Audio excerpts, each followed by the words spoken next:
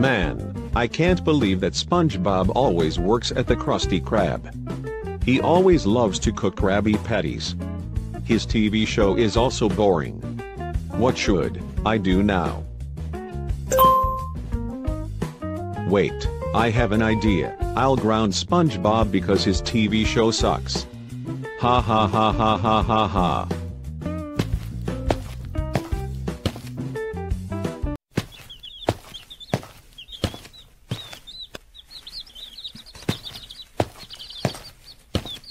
Oh oh oh oh oh oh.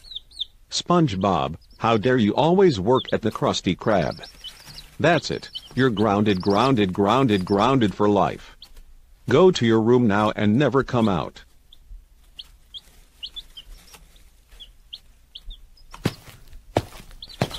Yes, I did grounded SpongeBob because his TV show is really garbage.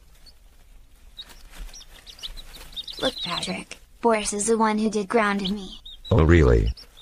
Oh, oh oh oh oh oh oh Boris, how dare you do grounded SpongeBob? You know that he's my best friend. That's it. I'll call Doris about this. No no no no no no no.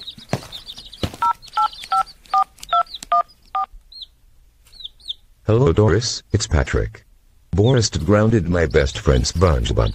Could you please ground him for this? That sounds good bye.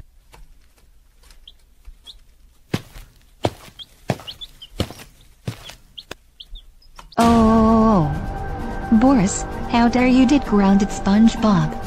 You know he's one of my favorite characters. That's it. You're grounded, grounded, grounded, grounded for 21,712 days.